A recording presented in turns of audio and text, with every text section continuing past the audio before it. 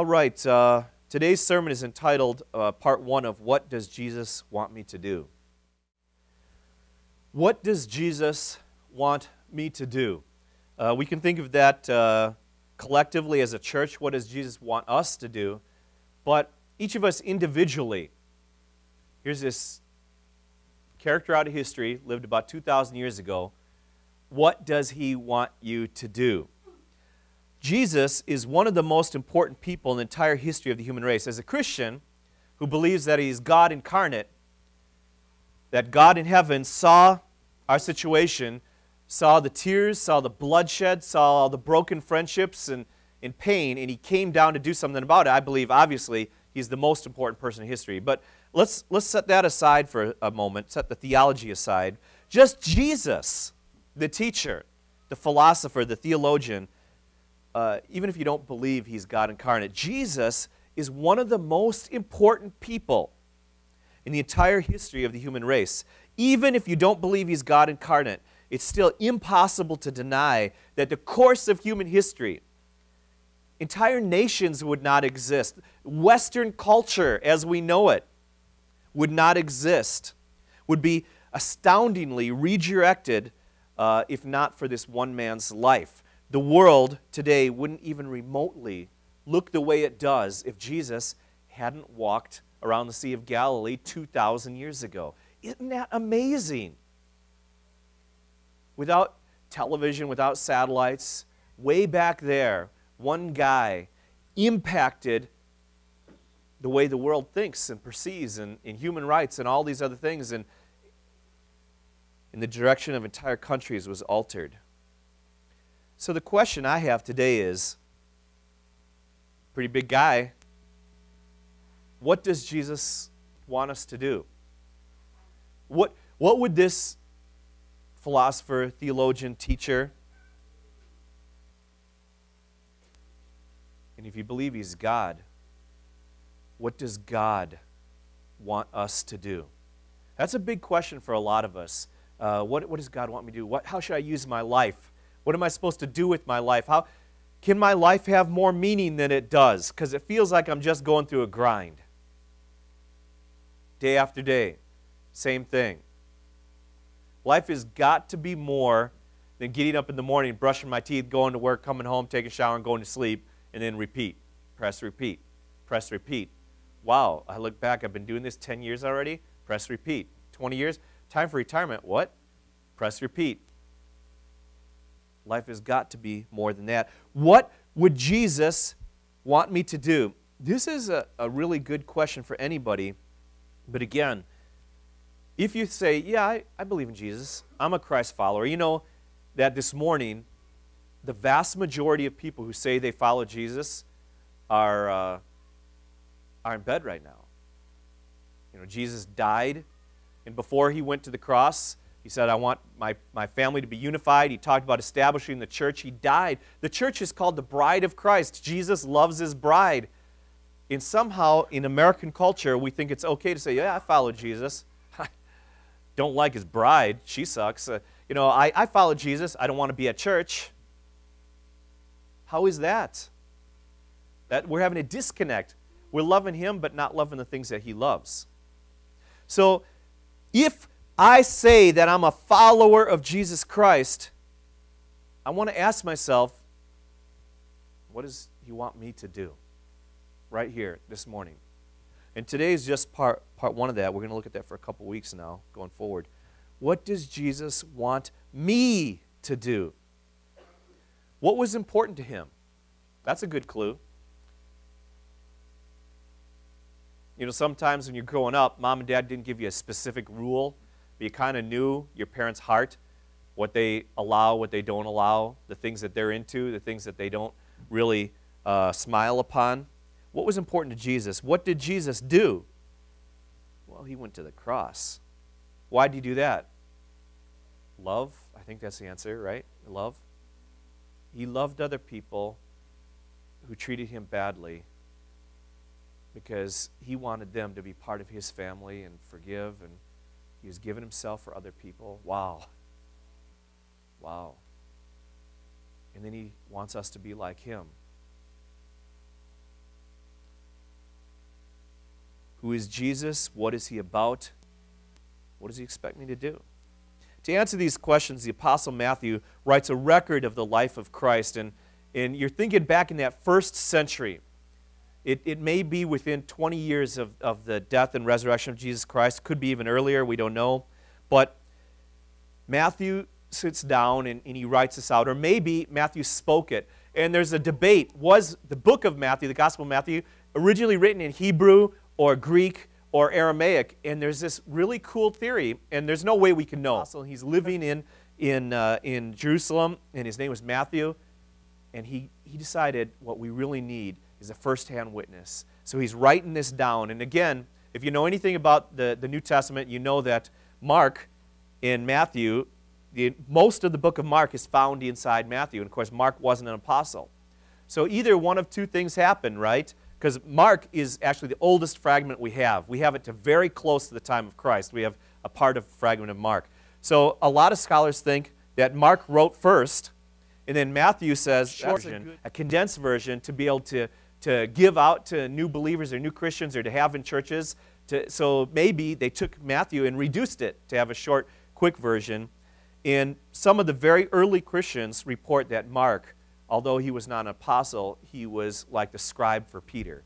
And so it could have been just as easily called the Gospel of Peter because Mark was very possibly the one writing it down from research and from conversations he had with, with Peter.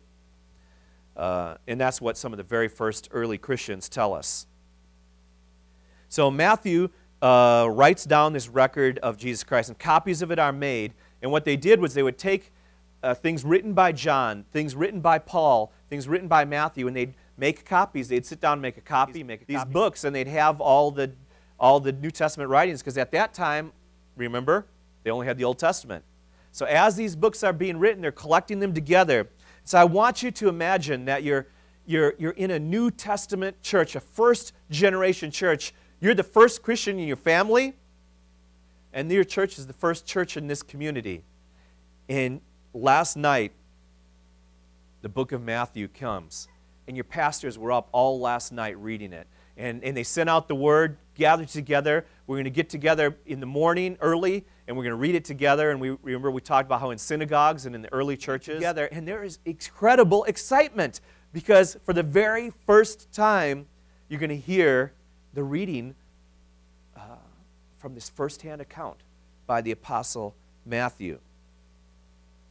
And so there you are in church, or, or sometimes you'd be gathering in a grove or down by the river. So you're worshiping in the most beautiful cathedral of all, which is nature.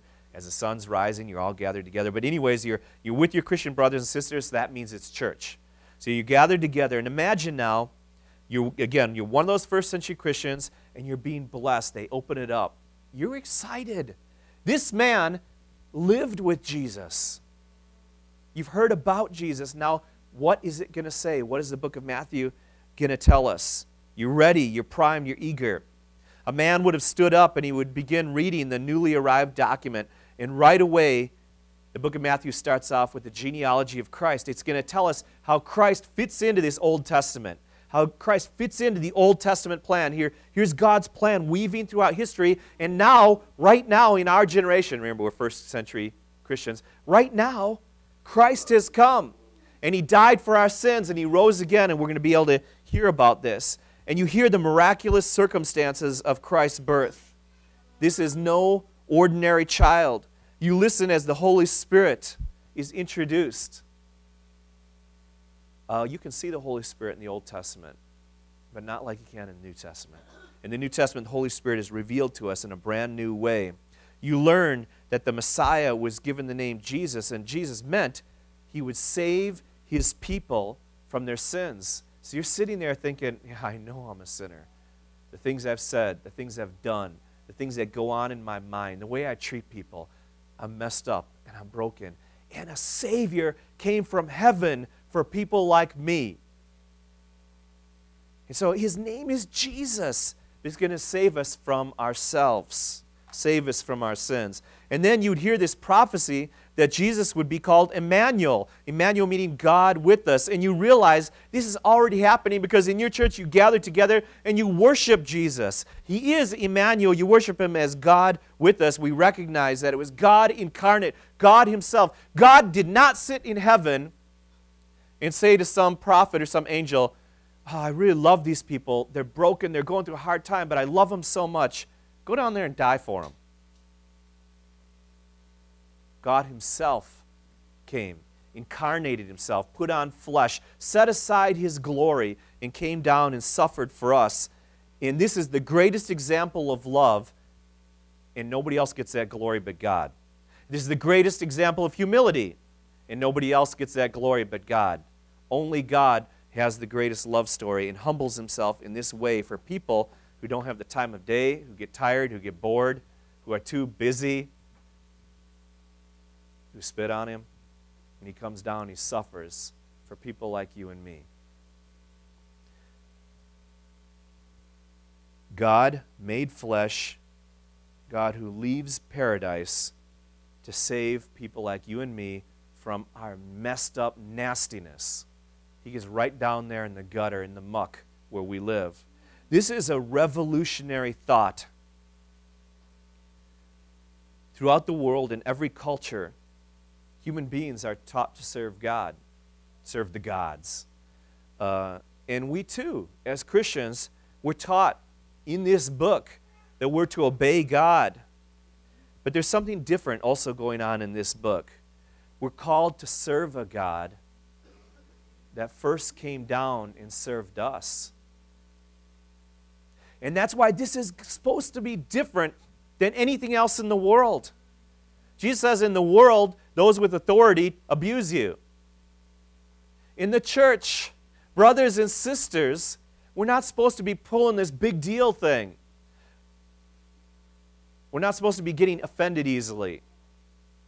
We're supposed to be loving one another and serving one another. And the example we have is the greatest one of all was spit on, abused, ignored, and he still loved us. And he suffered for us. Remember, before Christ went to the cross, he washed his disciples' feet because he says, Human beings, you guys don't get it. You're all so full of pride. I want to show you what this really looks like. It's about humbling ourselves and loving each other. God in the form of a servant. You guys, right now, are not doing the imagination thing very well. Zeus, Apollo, Thor, Odin, all these gods that's, that suppressed and oppressed humanity in, in, in these popular mythologies. And suddenly we're talking about a God who comes down and acts like a servant the reason this is not blowing us away is because we grew up hearing it. Put yourself back in the first century. What is going on here? This is radical, it's revolutionary, it's unlike anything else. Willing to suffer, face scorn and rejection. Why? Because he loves you. Because he loves you. And as you listen, as the scroll's being read, as the book's being read, you fall in love with Jesus once again. Matthew goes on to contrast the humble Savior with the self centered King Herod. And we fast forward a couple decades, and Matthew introduces the famous figure of John the Baptist, a man who held the attention of an entire nation. And Christ said, There's nobody ever been born greater than John the Baptist. And yet, John the Baptist is marked by deep humility, and he's willing to step out of the spotlight and say, put the spotlight on Jesus. He must increase, I must decrease. And he fades away, and Jesus Christ takes center stage. Yet, when Christ comes to John, Christ allows the prophet to baptize him. That's kind of strange. And, and John the Baptist says, No, no, no, I'm not even worthy to untie your shoes. I can't, I can't do this. And Christ says, No, it's good for us to accomplish all righteousness. I need to establish a pattern of obedience for those who will follow after me.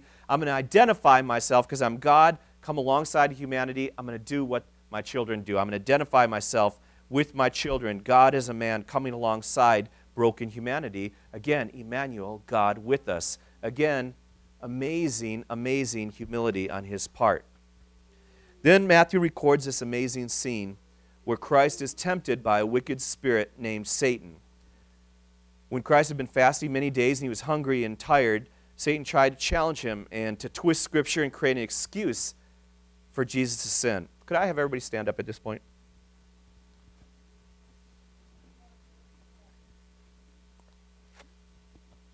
Thank you. Uh, I have a very deep spiritual meaning for asking you to stand. I saw a few people fading on me. Uh, uh, Satan tried to provide an excuse for Jesus to sin. Because a lot of times, we're not going to, let's just be honest, we're not going to say, oh, there's something really wicked and disgusting and depraved. I'm going to really stab this person in the back. I'm going to gossip about him. We don't, we don't, we, we sometimes do because we're messed up. But we don't usually go into a situation saying, I'm going to really mess this up. I'm going to be really nasty. What do we usually do? Okay, you can be seated. You can be seated. What, what do we usually do? We usually find an excuse for it. We, what do we tell ourselves? Well, I'm not gossiping, but I think people need to know about this. Yeah, right. Well, yeah, I've got a bad attitude, but it's because of her, you know. We, we make excuses for ourselves. And so you see Satan not saying, Jesus, do something nasty. What he's doing is saying, Jesus, he's, he's even using Scripture and twisting it, using it out of context to try to get Jesus to do something he shouldn't. We, we look for that cover too. Some reason to give in to temptation in a way that we can tell ourselves, well, we're really not that bad. Uh, sure, I'm bitter, but that person just pushed too far. I'm a reasonable person. I would not be acting this way if it not for them. Isn't that what we tell ourselves? As if that gives us the right to act nasty. I know I'm being selfish, but these people never do anything for me. So therefore, I can be self centered. No. See, the devil is trying to give you cover, give you an excuse so you can run away from God as fast as you can.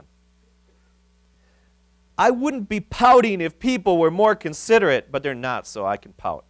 No, no. I, I know all these from firsthand experience, you know. I can do these things. I'm actually pretty good at doing these things, uh, unfortunately. See, there's always a reason, and, and Jeff always reminds me of this. I once said in a sermon last year a creative person can always find a reason not to be in church on Sunday morning. And Jeff is, keeps quoting that back to me. Uh, a creative person can always find an excuse for sin. You don't have to be that smart.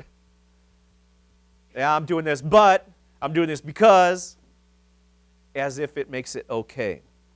Jesus, the creator, the most creative of all by definition, had options before him and he chose not to sin. Satan tempted Jesus by appealing to his stomach. Uh, Jesus was a guy. He appealed to his stomach. Uh, while simultaneously challenging Jesus as God, he says, prove it uh, by doing something supernatural. Make these stones in, into bread. Jesus tried to get Jesus to test God by taking unreasonable risks, doing whatever he felt like, and then expecting God to pick, clean up the pieces. Just jump off this cliff. God will, God will prop you up. And finally, Satan tempted Jesus to avoid pain, avoid tears, and avoid hardship. That's the way most of our prayer life looks like. God, I really don't want to hurt. God, I'm just afraid of pain. God, I really uh, I can't stand to be depressed. Save me. You know, I want I want the easy way. To take the easy way out. To take the shortcut. Give me everything I want and make it easy. And the devil said, all you got to do is worship me. I'll give you everything. Devil says, You can be popular. I'll give you all the nations of the world. You can be popular. All you have to do is join the other kids when they gossip. You notice that? That you go to a new workplace, you go to a new school. One of the easiest ways to get in is to find out who everybody is talking bad about and also talk bad about them. Then everybody will accept you. Talk bad about the boss. It's the way, it's like a social lubricant. Of course, it's from the pit of hell. If you love Jesus, you're not going to be joining in on that. The Bible talks about murder, adultery, and gossip. He puts it right up there with the things that destroy the world that God wants to create. But if you want to be popular, just bow down to Satan. He'll show you a way, he'll help you. You can have more money. All you have to do is, is work Sundays and stop giving to church. Have you ever thought, boy, that new appliance, I could buy that if I just stopped giving to church? PlayStation 4 is coming out. I don't, maybe just skip a week or two. I could have that. So, so easy. When we make God our money, when we bow down to God, then all, when we make, when we bow down to money, Bible says that money can be like adultery, uh, can be like idolatry. When we bow down to money, suddenly bowing to God doesn't make much sense. We bow down to God, and we see how foolish and ridiculous it is, ridiculous it is to bow down to money. You can have any person you want. You're a guy, you know. You can have anybody you want. All you have to do is break your marriage vows. You know, Satan keeps spinning these lies. You can do whatever you want. All you have to do is bow down to me. You can grow your business. Just fudge the numbers a little bit. Everybody does it.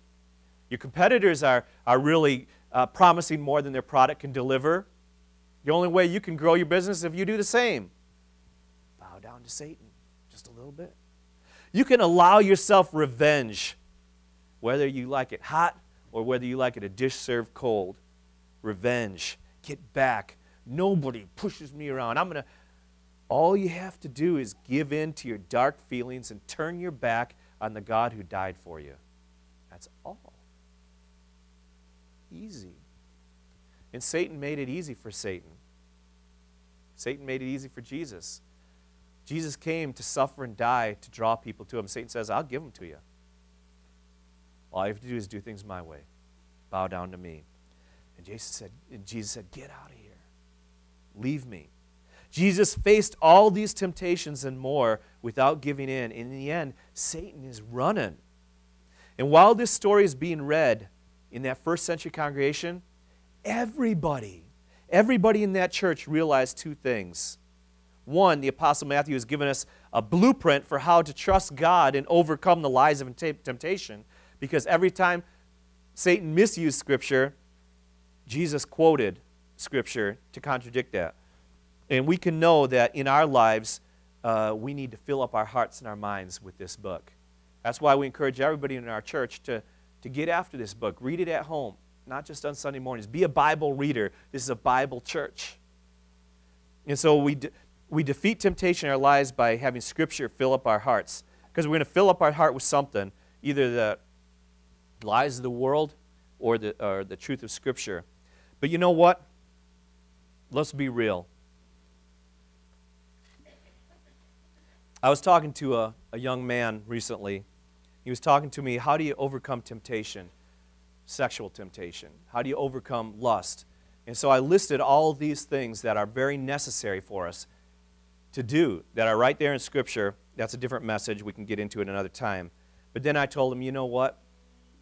I've confessed to my church before that there are things in my heart, there are attitudes that I'm going to struggle with for the rest of my life. And I want to struggle with those because I don't want to give in to them. I'm not going to say I'm a guy, it's okay. But I want to be really honest with you. I want to be very straightforward with you. And everybody in that church, when they heard how Jesus whooped Satan's butt, they're all thinking about times when I treated my mom so badly. Boy, I sold that guy some stuff, and there was not as much there as I told him there was. I have a problem with lying. I have a problem with lust. I have a problem with greed. Everybody in that church realized that Jesus was something special, something different, that he succeeded where oftentimes we fall short. This powerful truth. He succeeded where we have failed. Jesus is not just another teacher. He could take the devil's worst and send him packing. And I'm sure their love for Christ increased all the more when they heard it. Look at the God we worship. Look at the Savior we worship. He doesn't give in to pettiness, He doesn't hold grudges, He's not bitter. He resists all temptation. In this book, the only perfect person is Jesus Christ. There's no perfect church, there's no perfect Christians, and there's no perfect pastors. And we glorify God when we confess our weakness and saying, He's good, and I want to be more like Him. My life falls short, but I never want to stop, stop striving for the life that He offers us. So, what comes next? Well, let's, let's turn together now to Matthew chapter 4. We'll read 12 through 17. So, John the Baptist just got tossed in jail. When Jesus heard that John had been uh, put in prison, he withdrew to Galilee. Leaving Nazareth, he went and lived in Capernaum. And Capernaum is going to be his new base. That's where he's going to be for most of the New Testament. Uh, it was in a different political region than Jerusalem, so the people in Jerusalem couldn't go and grab him so easily. And that's where he did a lot of his miracles in that region. That's where he did a lot of his preaching, uh, which is by the lake in the area of Zebulun and Naphtali. These were two Old Testament tribes of Israel. And when it says in the area, it's probably where the two tribes, their borderlands came together. So he's living in, in that region. Uh, in the land of Naphtali, the way of the sea, beyond the Jordan, Galilee of the Gentiles. So there's a lot of non Jewish people living here. The people living in darkness have seen a great light. On those living in the land of the shadow of death, the light has dawned. We spent a lot of time talking about this at Christmas time, so I'm going to move quickly. But again, this is a dark world. This is a brutal world. Before Christ came, might makes right. You live your life to acquire more, more slaves, more wealth, more power. And into this, where generation after generation of young couples loving each other, having kids, and dying, and loving and having kids and dying, and again and again and again and again and again. And all these tears and all this heartache. And everybody prays, God spare me, God spare me. And everybody who's ever prayed that from, let's say, 128 years and back, just to be safe, in case there's really some old folks out there, they've all died. Now, almost everybody prays that prayer, but they've all died. This is a world of death. It's a world of sickness. It's a world of pain. It's a world of heartache. Every love story ends in tears unless you go in a car crash instantly and both of you go at the same time. Every love story ends in tears. In a people living in darkness, in weighed down, in heavy by their own messed up hearts. It's not only that the people around me are, are abusive, I'm so sick of myself and the way I can treat people and the things that go through my mind. And, and in the middle of this darkness, a light has from heaven coming down. God loves you. God cares. God is real. And He's coming to do something about this sin, this sin sick world. He's some, coming to do something about our pain. He's coming to do something about death. He's going to have victory over it all. A people living in darkness have seen a great light. That's Jesus Christ. Those living in the land of the shadow of death. On those living in the land of shadow of death, a light has dawned. From that time on, Jesus began to preach what? Repent, for the kingdom of heaven has come near.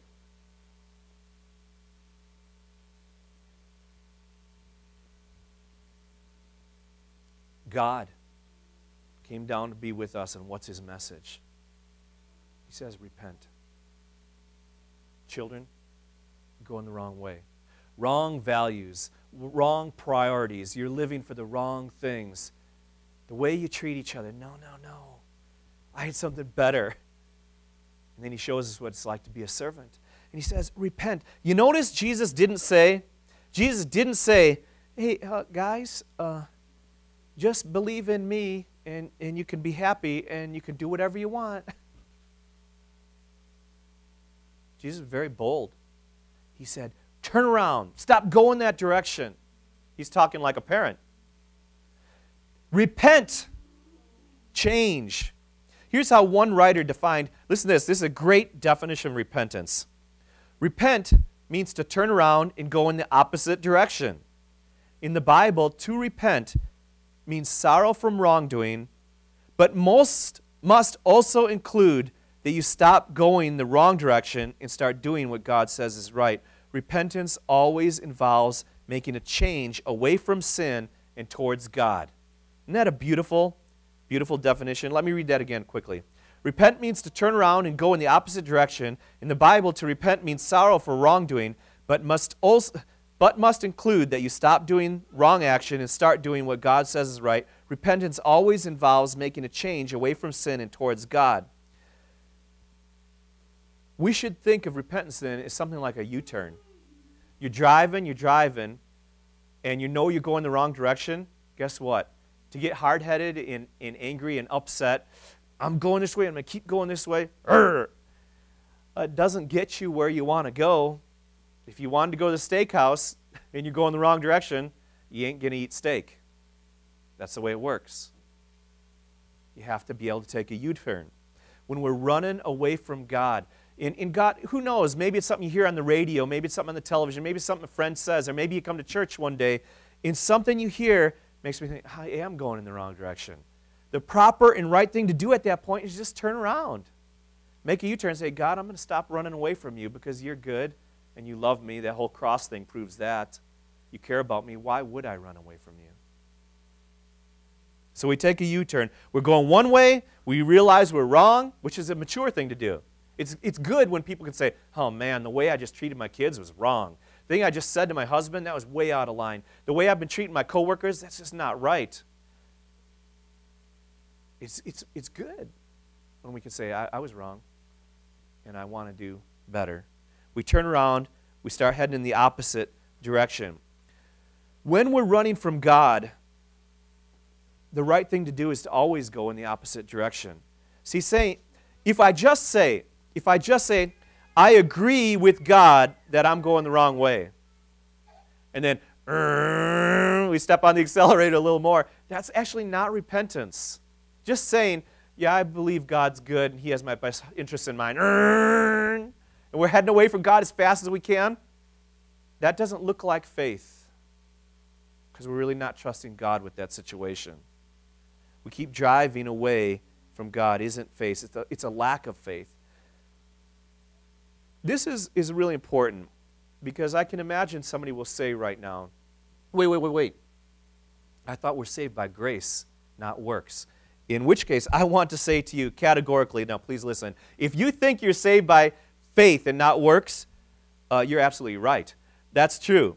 We are saved by faith in, in the salvific work of Jesus Christ on the cross for our sins. But what is faith? Is it just, uh, there's, uh, there's a test and say, do you believe Jesus is God? Mm, check. Do you believe he died for your sins? Check. Uh, do you believe he'll forgive you? Check. Okay, I'm glad I got that paperwork done because I am out of here. I don't need this church thing. I don't need God. And then whenever the Holy Spirit tries to talk, no, I'm not listening. And we just live our life the way we want. How does that show my life is a life of faith? Jesus said the most important thing is to love God. Do you think God's feeling the love when we're when we don't want him?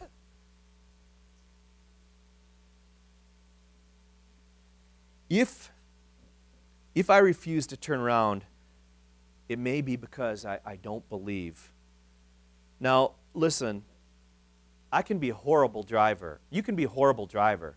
I'm trying to turn around. I just, man, and the car is swerving all over the place. We can turn around and, and spin around, do a 360. Oh, no, I'm going back where I go. But I don't want to go this way, and we do another 360 because God has reached out to us, and something in our soul says, I want to go His way. I'm a bad driver. I need to learn how to be a better driver. And, and I take a left turn. Oh, good. I take another left turn. Good. Oh, no, I took another left turn. I took another left turn. And pretty soon we're, See, I'm not talking about being a good driver. I'm not talking about always doing the right thing, always living the Christian life. What's the attitude of your heart? I want to do what God has for me because I trust Him with my life. I trust Him with my future. I trust Him with my soul. We can get lost even. But if we put our faith in God and confess that His direction is better that we want to go where He's directing us, brothers and sisters, God will see you home. He doesn't let go of his children. Even when we're messed up and nasty, he doesn't divorce his kids. So I want to ask you have you taken that step of faith? Have you said, God, your way is way better than my way? And turn that car around? Go where God is directing us. God will see us home. It, it will be okay. It's going to be okay. And we're going to get there because of His grace. But if, but if we put our backs to God, and again, we put that pedal to the floor, it doesn't matter how many times we say, I think God is right. I think God is right. I'm such a sinner. I'm so bad. Thank God for grace. If all we care about is running away from God, that, again, that might not be faith. That might be an indication of a lack of faith. Jesus said, Turn around, repent. The kingdom of God is here, and you're going to love it. You're going to want to get right with me. And Jesus is calling everybody, everywhere, repent and come to me. Join the, join the kingdom. Be a part of what God is doing. Okay, let's continue now from verse uh, 18. Everybody, Matthew chapter 4, verse 18. As Jesus was walking beside the Sea of Galilee, he saw two brothers, Simon called Peter and his brother Andrew and they were casting the net into the lake. So they're not fishing with a, with a hook and a line. It's hard work. You cast a net in there, you pull it out. Sometimes you catch fish, so oftentimes you don't. You just do it again and do it again. And they were casting the net into the lake, for they were fishermen. Come, follow me, Jesus said, and I will send you out to fish for people. At once, they left their nets and followed him. And everybody in that church is thinking, yeah, I left my former way of life too. I heard the call and I answered Jesus' call on my life. Going on from there, he saw two other brothers, James, son of Zebedee, and his brother John, another son of Zebedee. And uh, there in the boat with them was their father, Zebedee, preparing their nets. Jesus called to them, and immediately, I like to say that name, that's fun. And immediately they left the boat, and their father followed him. Them. Uh, they left their boat and their father and followed him. You know, when I was reading that, I thought, I'm going to screw that up. And I screwed it up. So they left their boat and they left their father and they followed Jesus. Uh, Jesus went through Galilee, teaching in their synagogues, proclaiming the good news of the kingdom, and healing every disease, sickness among the people. News about him spread all over Syria, and people brought to him all those who were ill with various diseases, those suffering severe pain, the demon possessed, those having seizures, and the paralyzed, and he healed them. Large crowds from Galilee, the Decapolis, which means a, a region of ten cities, Jerusalem and Judea, and the region across the Jordan followed him. So everybody's coming out now to meet Jesus, and maybe you were one of those people. Or maybe you've met people and talked with people uh, who, who followed Christ at this time. In verse 19, we see Christ's very first recorded words to his followers. What does this great man who changed history have to say? What does God incarnate have to say? What does Jesus want you and I to do? He said, Come, follow me. Leave what you're doing, follow me, follow in my footsteps, and I will make you fishers of men. I want you to think about the impact that had on the people in that first century church hearing this for the very first time. God came, comes down, God comes to save, and when he speaks, the first time speaking to his disciples, the first thing he says is, Leave everything and follow me. And let's get more people. Brothers and sisters, you know what Christ wants you to do? Leave the world, leave the lies the devil's selling. Follow Jesus every footstep, step for step, and let's get more people. Jesus says, Go out, gather them in, be a fisherman. Fish for people. Cast that net. Sometimes you cast it and you get nothing. Sometimes you cast it and a couple people come to Jesus. Sometimes you cast it and the net is breaking with people who want to know Jesus Christ as their Lord, as their Savior. Jesus says, Heaven's doors are wide open. Let's go get some people. Let's go get them and bring them in. God comes down. He comes to save, He comes to serve. And He says, Leave everything, follow me, and go get some more folks. This is what Jesus is all about. What does Jesus want you to do? Follow him. Do as he did. This is what Jesus is all about. If we're truly followers, this needs to be what we're about as well. And in verse 23 it says, the, king, the gospel of the kingdom. Gospel means glad tidings that God cares. glad tidings that God cares, that God is there for people. If there's no God, hope is a bunch of uh, chemicals running through your brain. Same with love.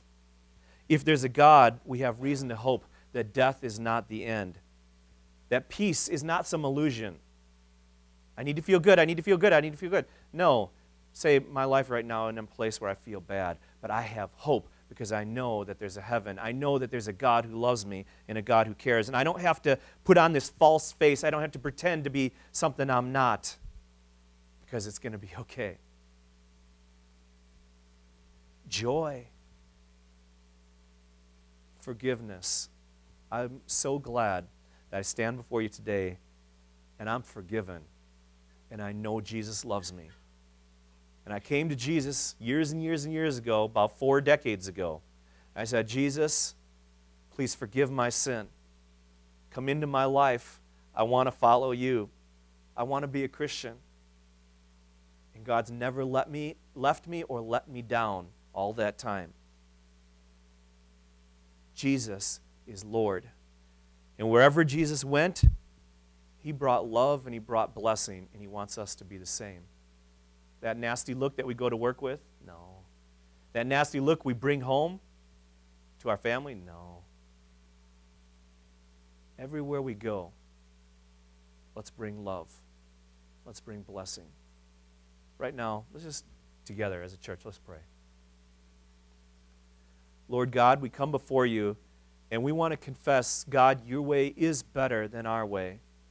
And Lord, we've blown it in so many ways. We've messed up again and again. And Father, you're good, and we don't want to run away from your goodness anymore. And God, we know that you love us because you died for us on the cross. You gave up everything for, for me. And Lord, I want to say thank you. In your hearts, brothers and sisters, just say thank you to God. God, I want to say thank you for your love, for your grace, for that cross. And now, Lord God, Help me to make that U turn. And when your Holy Spirit shows me I'm going the wrong way, I don't want to fight you, God. I don't want to fight you anymore. I just want to listen and obey and go your way. So, Father, today I commit myself. Help me to follow you each and every day of my life. Help me to love you. Help me to love my Christian brothers and sisters. And help me to learn how to really be a person of love and blessing with a servant heart, the way you are, the way you revealed yourself to us, Father. God, thank you for our church. Thank you for everybody who's here this morning. Please bless us, we pray. Amen.